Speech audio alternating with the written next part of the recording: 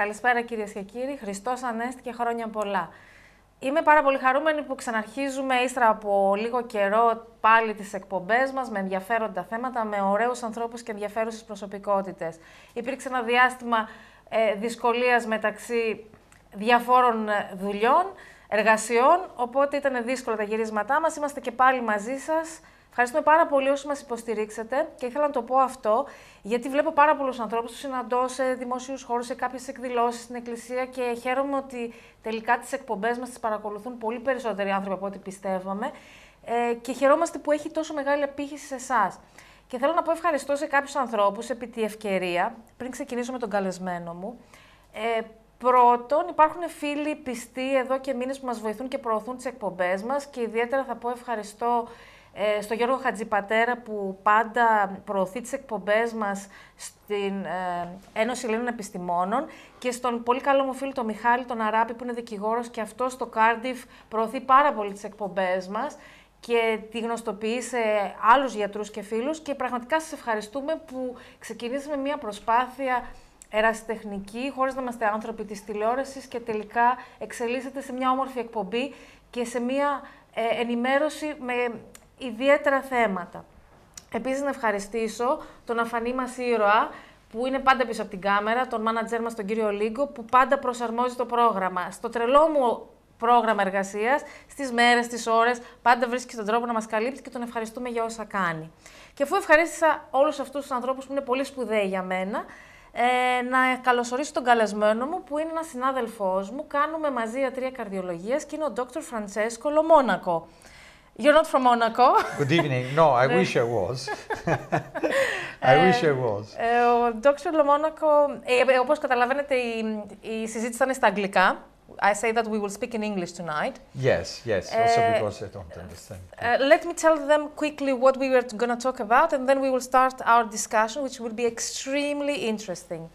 Um, ο Dr. Λομονάκο είναι Ιταλός, θα κάνουμε τη συζήτησή μας στα αγγλικά και θα μας μιλήσει για ένα θέμα του μέλλοντος, κυριολεκτικά, cardiac regeneration, stem cells in treatment of heart attack and heart failure. Θα μας μιλήσει δηλαδή για τα stem cells που μπορούν ουσιαστικά να αντικαταστήσουν στο μέλλον εγχειρήσεις bypass, stents, ε, προσπάθεια ανάπλασης αγγείων, ε, αναγέννηση της καρδιάς. Πραγματικά η ιατρική του μέλλοντος, βιοτεχνολογία που είναι πολύ μπροστά και επειδή ο ίδιος μόνο στην Αμερική την έχει παρουσιάσει αυτή, σήμερα θα μας μιλήσει συγκεκριμένα για την έρευνά του.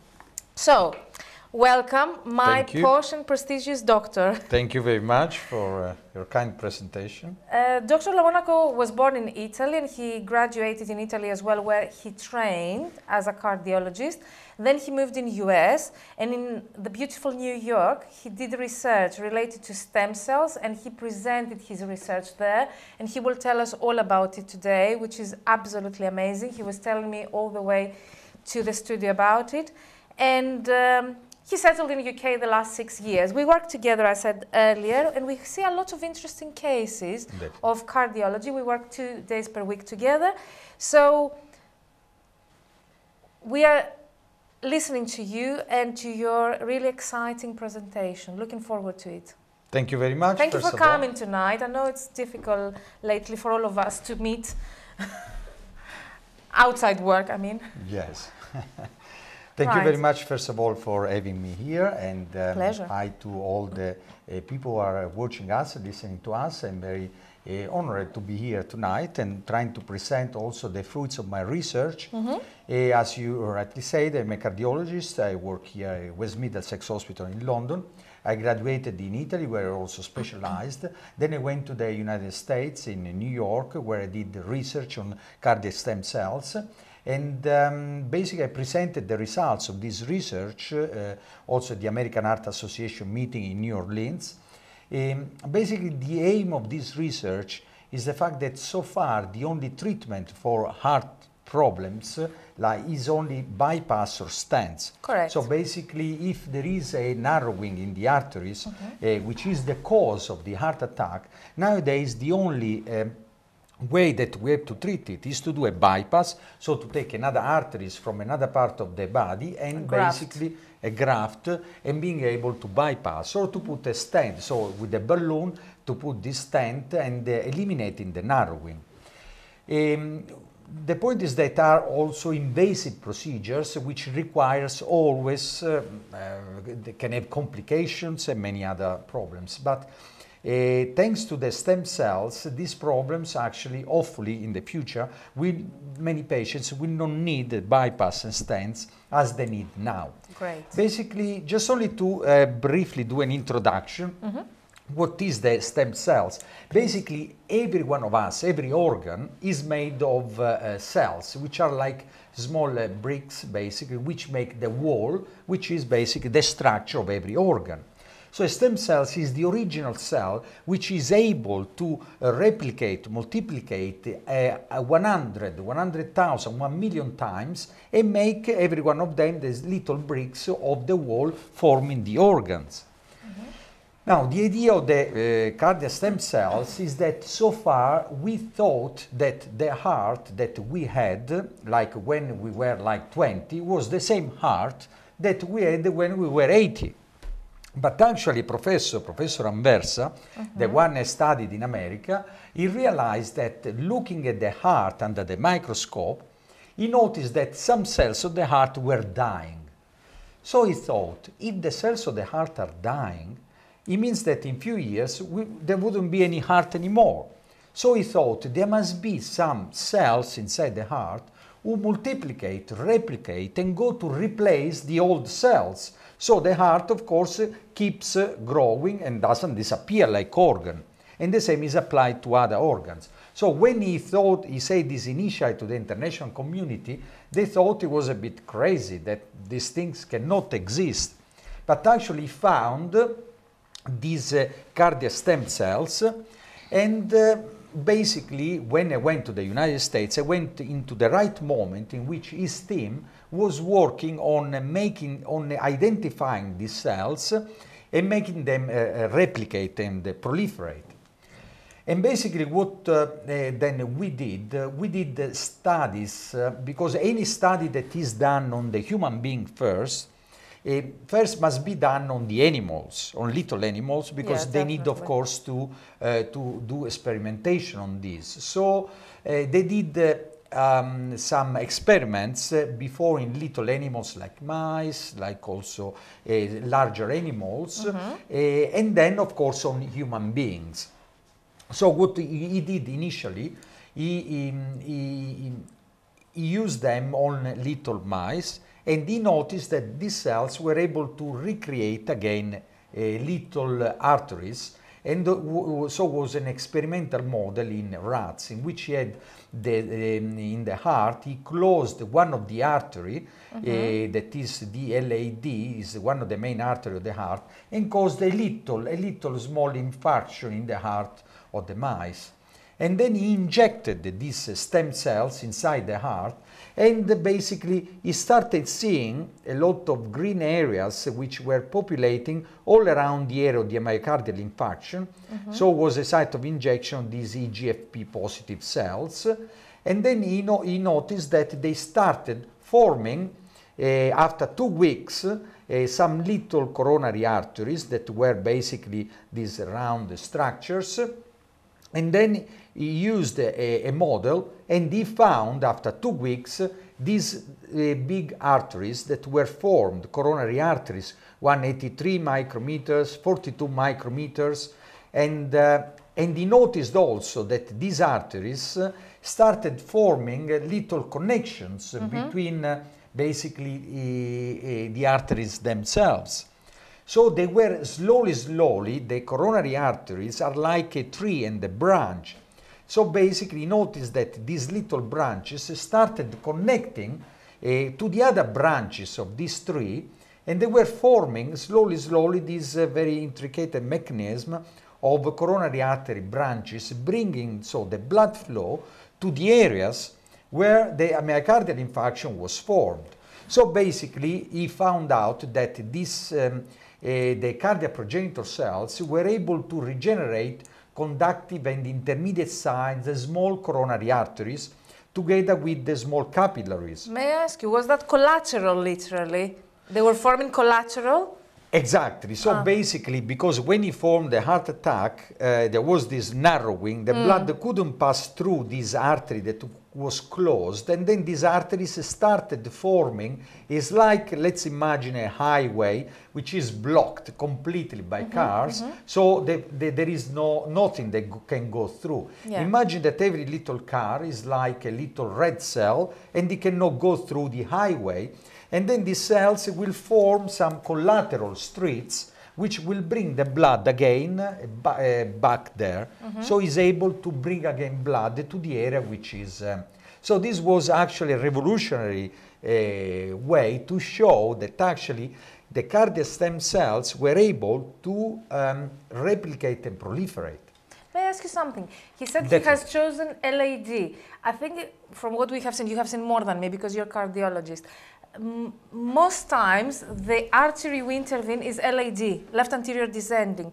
Did he choose that artery accidentally or intentionally because it's a, a most suffering artery? I just have this question from your presentation. Maybe it sounds funny. Yeah, no, basically because, of course, being the main artery is the mm-hmm. one which can cause, closing it, the mm. little more damage, so it can show more the beneficial effect of a revascularization. Right. While if it was chosen a smaller branch, then we couldn't have appreciate the same effect. He, revascularization. he wouldn't choose PDA, but he would choose circumflex, right coronary Yeah, artery. yeah, probably. I, I just, you know, question Yeah, why did he choose yeah. that one? But it makes sense, as you said, because it would cause less harm, possibly. yes, yes. All right, yeah, wonderful.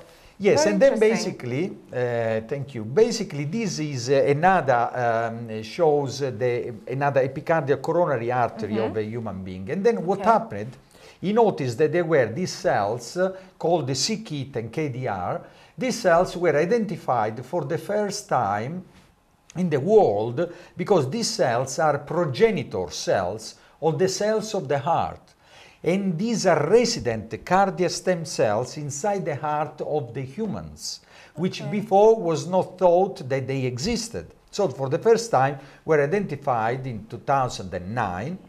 But the point is that even though we identified it, we couldn't tra- uh, transplant in the hearts of human beings. So basically, we were using just only we, we were using some. Um, there were some animals, larger animals, with which we thought we closed lightly coronary artery without causing too much, of course, discomfort, any damage, any pain, any suffering, of course, Okay. uh, to the larger animals. Just only to show that this could be done also on the on the on the humans. Correct. And basically, we closed in, in we did this in dogs. We closed this artery uh, surgically, the LAD. We closed this surgically, and basically, what happened? We did also an angiogram. I did this angiogram in which showed the LAD, the circumflex angiogram, and the hemodynamics. And then, as you can see here, these cell, these um, uh, are all all basically the arteries, large conductive, basically coronary arteries that were formed inside basically the arteries of the dogs. As you can see here, there is little image of the dog in which you can see uh, that there is this occluder causing the tiny um, heart attack. And then basically the blood flow show here in the green and the blue. As you can see, the blue is much improved distally to the occlusion. So this means that many arteries had formed collaterals and so the blood was forming after the occlusion of the artery. So this shows clearly how also in this functional improvement of ischemic segments, the first one is the contraction of the heart, which is not great, is not very wide. The one down uh, after four weeks shows that is much bigger. So this means that even though in the heart there was a small heart attack, however, there were still cells which were viable, alive. So once the arteries were formed and we bring blood and oxygen to these areas of the heart which are not moving well, the blood and the oxygen will make these cells alive again. Because these cells are not all completely dead. There are some cells still alive mm-hmm. that, thanks to the new oxygen and blood brought by the new arteries, basically were able to restore again the capacity to contract again like before. Mm-hmm. So this was actually a revolutionary treatment. So this means that as final conclusion, the human heart possesses some coronary vascular progenitor cells which can be isolated, expanded in vitro for subsequent autologous transplantations in patients with coronary artery disease. So we make them in the lab and we take them and we inject them in the artery. Exactly. Do we, do that somewhere in US only? Okay, exactly. Now this okay. is the point. Because that that's that's really too much ahead. revolutionary actually. Indeed. But the point is that when I presented these studies in uh, in New Orleans, of course, this created a bit uh, a disbelief. This Yeah, is definitely. not possible. It must be only citing maybe uh, altered results or maybe only in the animals and then not translating the human beings. Uh, but because I was there, part of the studies, I did all the hemodynamics, I saw with my own eyes, uh, and because it was done in larger animal, which was very similar, because the heart of the dogs, of the pigs, is basically virtually identical. Two hours. Identical to the heart of the human being, virtually basically identical, is the same.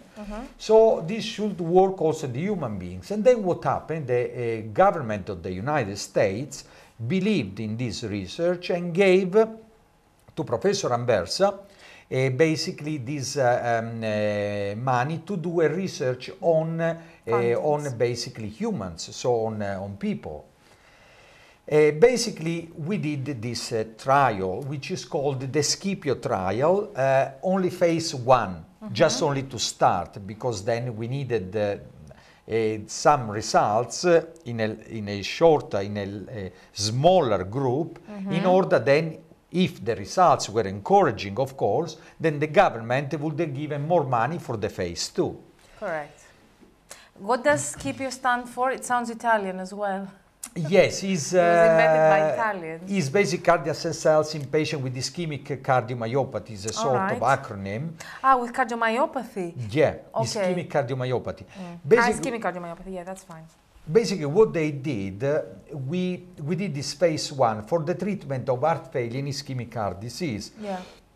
Basically, what happened? There were some patients uh, who, before uh, a bypass, were hit by a heart attack. The heart attack caused the death of many cells, so the function of the heart was very poor. It's like the heart is a pump which doesn't pump well. So when it's been hit by a heart attack, start pumping less and less, and the capacity to pump is called ejection fraction. Ejection fraction normal is from 55% above. Less than 55% of ejection fraction, so remember this 55%, it means that the heart is not pumping well. So they chose uh, as a subject to study people who has been hit by a heart attack and then they a dysfunction in the ability to pump, which was about uh, less than 40%. Uh, these people were going to have a bypass, but then what they did, they chose uh, two different group of people. In some people, they injected these uh, cardiac progenitor stem cells. In other people, they did not inject to see what would have been the result. Okay. And the result is that basically um, the uh, final findings of these studies is that in 14 people in which these cardiac stem cells were uh, injected, the ejection fraction increased from 30% to, to 38%. Okay. By contrast, in the other ones in which they didn't inject the cells, the ejection fraction remained the same, 30%. But the main effect was seen after one year, in which the ejection fraction increased by 12%, so from 30 to 42%. Now, right. It's incredible how in heart problems even 12% of ejection fraction is very important because it results Definitely. in a better quality of life for the patient, less shortness of breath, but especially less risk of a malignant rhythm of the heart because the lower is the ejection fraction, the mm. more malignant rhythm there are. So already improving of 12%, this means in the long term in incredible uh, um, increase in survival rate and reduce death after the surgery. And let's also mention that the pumping function of the heart is important because it supplies the main organs and tissues with blood and oxygen. So it's not only important about the heart, we're talking about the whole body. Absolutely. Being in a very good. Uh, Absolutely. It's the engine of the of body. Course, of course. So everything has a positive effect from the brain, from the kidneys, where better perfused. Definitely, the brain, definitely. And uh, better quality of life, of course. And uh, So, without doing anything else, with, with medical management, I suppose 12% increase within a year. yes, 12% That's, that's increase important. compared to the people who didn't have uh, the stem cells. hmm Okay. And uh, so basically, this is uh, a problem in the coronary arteries. Um, but now there are also studies which are undergoing there on the progenitor cells of the muscles, of the cells which form the muscles, not only the coronary arteries. And these are new uh, studies which have been uh, actually, um, uh, then I left because they were going to study also this, but then I left uh, and they decided to come to England and uh, start working clinically basically. Can ask you, these stem cells, were, would, would they only be injected in the arteries or could we also produce stem cells which could be injected in the muscle, the myocardium? Yes. Okay. So so far they've been injected uh, mm, uh, through the corona, corona through the angiogram, uh, through the um, uh, of course arterial uh, So route. it goes through the wire? Yeah, yeah, yeah. Through uh, the, you do the angiogram and then you inject them.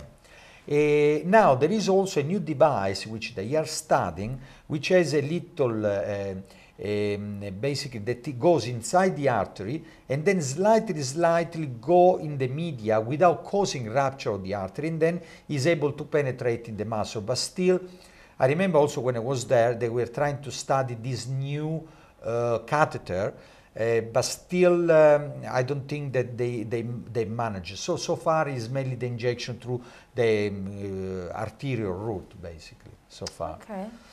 That's really impressive. Actually, that's medicine of the future. It's, it's very much ahead from what we, uh, we know and what our routine is. And you can imagine the cost effectiveness when you have bypass surgeries, rehabilitation, uh, complications, stents, all the costs and the complications and the delay in recovery. When you can do that, obviously the cost will be significant initially as well.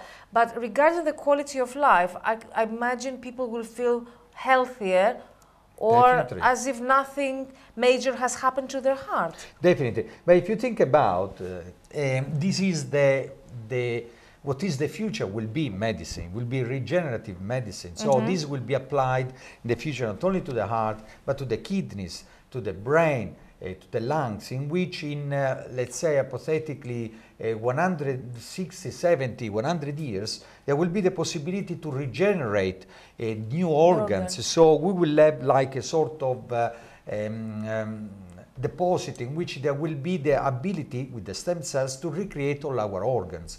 So this is not, this seems to be now completely um, not uh, scientific, something really in the future we see only in the movie. But actually this is what will be the future of medicine. And also another future of the medicine is bioengineering. Basically what we have nowadays, uh, our, we are who we are is defined by the DNA. DNA is made of genes, and the genes they are the ones who produce the little proteins, uh, the, the little things who we are basically. Now, many diseases are due to lack of a protein, lack of something. So, uh, and now still is done in certain diseases. uh, We can manipulate the DNA, insert in new gene, and make maybe um, uh, some organs to produce certain proteins which will allow to uh, eliminate certain diseases due to a lack and deficiency of a certain protein, a certain channel, for example. So this is definitely uh, the future of medicine where uh, we are going through because medicine imagine in the last uh, 60 years has made more progresses than in the last 2000 years so let's imagine in the last 60 years more progress than in the last 2000 years so things that uh, 60 years ago seemed to be impossible like Yeah. the stem cells now they are reality that's why when we uh, think about the future of medicine, we should think with optimism and with possibility that this will really happen. Yeah. Because we need to be daring, we need to be to imagine big, to think big in order to achieve things, especially in medicine. But we have the technology nowadays which makes things easier and you can't do things. Even if you have an idea, you can really work on that. Previously, we didn't have the means Definitely. to, to work and to research. We didn't have the foundings, we didn't have the labs, we didn't have the money, we didn't have the support, we didn't have the people who would volunteer to work for years through definitely, a trial. Definitely. Nowadays, people invest more, more on that, and research is ongoing. And what is impressive, I think that's what we are lucky because we come from the western part of Europe, both of us. UK and across the Atlantic, US, they're very much ahead because they invest a lot of money definitely, in research. Definitely, absolutely. They, I they agree. don't um, worry about the cost as long as they know that will lead them to a significant outcome and they believe and they invest on that. And they have the means to do that. That's the truth. Absolutely. Um, about bioengineering, do you have any updates to, to tell us? Well, let's say it's a very specific field. Sometimes mm. I read about different uh, mm, studies that have been done and they've in the way they, but it's mainly due to diseases with lack of certain proteins, uh, mm-hmm. uh, lack of certain channels, which they can basically completely modify the DNA. Mm-hmm. Now, of course, it's a very specific field. I don't have, uh, mm, sometimes I read in certain updates, uh, but what is important to know is that now we know all the human genome. Basically, it's been a, a titanic, uh, uh, really challenge, but we managed now to know every little gene that is in our body. And this means that once you know how something is done, then you can modify and you can use for therapeutic purposes. Mm-hmm. Uh, also, let's imagine now the new micro nanotechnology also. Nanotechnology is a technology in which you can even go to deliver, for example, the main problem of the chemotherapeutic agents so far is that they go and destroy the normal tissue and the tissue mm. with cancer. Yeah. Now they have this nanotechnology that are little spheres which bring the, anti, the, the chemotherapeutic only to the area of the cancer, avoiding the healthy tissue surrounding the necrotic, the, the, the cancerous tissue to be damaged. Mm-hmm. So between cardiac stem cells, regenerative medicine, bioengineering, nanotechnology, transporting also antibiotics, chemotherapeutic agents directed to the area, we will be able to defeat many mm-hmm. diseases that uh, so far they've been considered, of course, with no treatment, with no cure.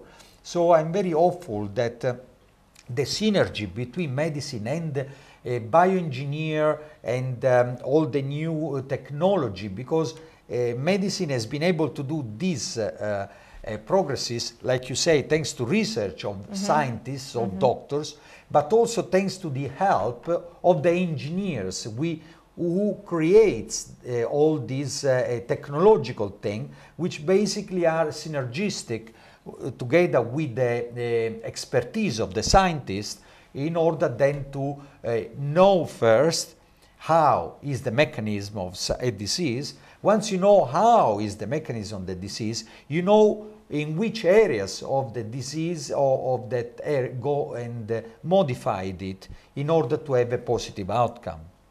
Yeah, it's it's also very good what you said regarding the chemotherapeutic agents, for instance. Of course, they can't be selective. They go and destroy both yes. cancerous and yeah. healthy tissue. It's amazing if they achieve to make a selective treatment so we save the the healthy tissue and it's something similar which is going to happen here i suppose exactly and what i wanted to ask you is because obviously stem cells we work extraordinarily, avoiding bypass surgery, stents, drug-eluting stents, very likely. Um, how is that going to work in heart failure? Well, in heart failure, basically what is failing is mainly the muscles, the, the cell mm. which form the muscles. Now, because we have identified also the um, progenitor cells, so the smooth muscle cells, then they will be able to uh, uh, replace some uh, basically um, um, cells which have died. This is, though, I, to be honest, still in theory. So they are still doing it because it's not more, um, let's say, clear the results like in the cardiac because they've not been able to deliver the cells directly into the muscles. So Yeah. they have to find also the delivery system. But I'm very confident we will get there. Definitely. So it's only a matter in, uh, in medicine, always, like in everything in life, to always being never give up, always continue, always challenge ourselves, uh, and uh, at the end we will be able to solve any any any problem and issue. Definitely, you said the key word. It's smooth s- muscle. So uh, how it would be extremely difficult, not extremely challenging for, for the bioengineers to produce cells for a smooth muscle rather than, um, you know, uh, any any other kind of arteries, cells, uh, structures or layers of the artery. Maybe it would be easier to produce, but selective for muscles. It's a It bit more difficult. There's been the difficult to imagine, indeed. It's been found the uh, myocardial progenitor cells are the smooth muscle cell. The point is that once, eh, first of all, the delivery system has not been found, and also how to attract the, and being able to replicate in the tissue. So, but I'm sure that we will get there. No, definitely. Definitely. All right. What else do you have to tell us? Well, basically, that I, everything I told you now um, is important also in medicine. That's very important for many people listen to us. That before everything becomes available as a treatment, um, it takes time because, as you can see here, this research has taken like 15 years from the mice, then the dogs, then the, the human being before the first study, then there will be the second and everything. Because, first of all, the most important thing is the safety of every treatment. Of. We have to make sure that it works before being spread in the community. Even the same for a medication, for example. Before a me- medicine that we normally take, it goes into the market, it takes 15 years. And only one medication out to 10,000 makes it.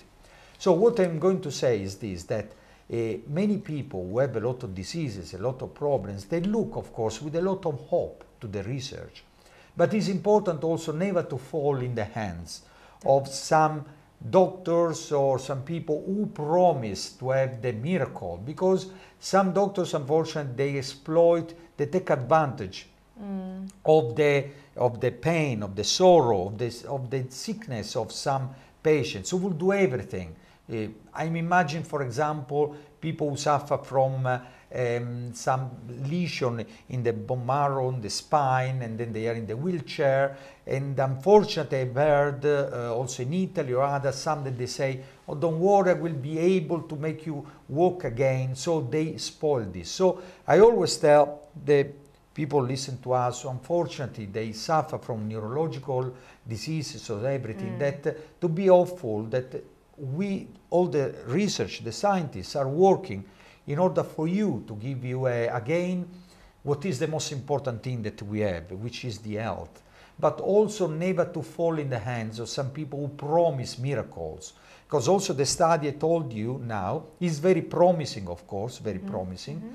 but which will hopefully has been shown to work already in some patients. But I don't want that this creates too many uh, hopes and fake hopes maybe to some people who are waiting for this. Just Or only say it's very is very promising, but still it takes time in medicine for citing medication or a treatment before it's finally widely available to all the population. How were you following up these patients, or initially with the animals? You were injecting the stem cells. How were, which methods were you using, or imaging, to see the the the results of your grafts or your implantation? Yeah, basically um, is used uh, the histology. Basically, what we did, we were injecting uh, certain uh, mm, growth factors which were uh, carrying a protein, fluorescent protein. So basically, we knew once injected, if they were all uh, all green, we know that these were new new cells which were forming. Fluorescence. Fluorescence. So with the fluorescence, we're able to track that cells because once you inject the cells, you say, how do we know where these cells went? But Right. if they carry a protein which uh, express a green color, you know that when you see the green, there will be new cells which have been formed. Mm. Did you use um, MRIs to see the arteries after that on the overall or the muscle? I mean, MRI for the it's not for the it's not histology. Histology. MRI wouldn't show vessels, only muscle maybe. Histology. Histology only. Histology. All right. Okay. That was very interesting. Yeah, I say because It's, it's, um, also the future. Very new. Yes. Part present, but also very near future. Mm. I, I personally didn't know anything about that. I know you told me we'll speak about um, stem cells and uh, biotechnology and bioengineering and the future medicine. I was thinking, what are we going to talk about? But uh, that was not something I was expecting. Well, uh, we, if whatever else you want to say, and then we will close our presentation for tonight. Yeah, I think that um, I hope I summarized uh, everything, all my thought, all the research, and also what is the new direction that medicine is going to. I think that um, uh, hopefully I was able to have a very concise and clear and to give a clear message because it's important sometimes not quantity but quality and the uh, clarity with which a message is transmitted. So I really hope that I was able, because it's not always easy to transmit maybe a scientific thing, maybe using certain words to maybe a population who, of course, is not in the medical field. That's why it's very important, and I, I hope I managed to explain also in simple term, and um, uh, the message was received. Definitely. And one last question: Do we have any center in UK where we do a similar research, or is it only resumed in US? Basically, here in London, there is St. George's who are Oh, using different uh, uh, stem cells, uh, but taken from the bone marrow because the stem cells Alright. I'm talking about are taken directly from the heart, Mm-hmm. while they're studying others uh, from the bone marrow, basically. The person are able then to differentiate. So uh, let's say that there are all efforts coordinated towards the same aim. The source only changes if it's direct into the heart, because these cells into the heart has been found only by the group in America, and of course they don't uh, want to disclose because they have the sort of exclusivity of their uh, research. When babies are born and they say it's better if you go to a bank and save stem cells for uh, 10 years or 20 years, um, or from the umbilical cord, Yes. um, would that contribute to the future research? And one of the reasons they ask to do that is to use these those stem cells for a similar bioengineering, or it, all these stem cells come from the bone marrow. Yeah, no, it's more for the bone marrow, Bone because marrow. of course also with the embryonic stem cells, there, there are also a lot of moral issues with the Bioethics. Catholic Church, especially Alright. because they, there is of course involved the embryos or everything. Why? So this, especially in the I am Italian in Italy, it wouldn't be possible this because you know creates some moral issues Alright. related to the fetus, the embryo. But this is more cardiac, so it's adult, so there is no moral Okay. implication. All right. Okay. Thank you very much. Um, Welcome. I'm very Thank you to you. grateful because we had a really unique discussion. I mean, who can come across these kind of subjects? And one of the aim we have here in this program is to present things which, you know, they're not so common. We discuss about common things, but we want to be a step forward and give new information, Definitely. things that you can't read or find on the net or you don't really discuss everywhere. Some unique things. It was a unique presentation, and thank you very much. I'm very Thank you grateful to you for, for that. giving me this opportunity. It was an honor to have you here and tell us all these wonderful things. Ευχαριστούμε και εσάς που ήσασταν μαζί μας απόψε. Ελπίζουμε να βρήκατε εξίσου ενδιαφέρουσα την εκπομπή, γιατί ακούμε πράγματα τα οποία δεν γνωρίζουμε και είναι εξειδικευμένη γνώση, αλλά και ενδιαφέρουσα και είναι και η ιατρική του μέλλοντος. Τουλάχιστον έχουμε να ελπίζουμε. Ραντεβού την επόμενη εβδομάδα με ένα θέμα πολύ προκλητικό. Ήταν πρόκληση για μένα. Το βρήκα εξαιρετικά ενδιαφέρον και ελπίζω να το βρείτε και εσείς το ίδιο. Καλό βράδυ, καλή εβδομάδα.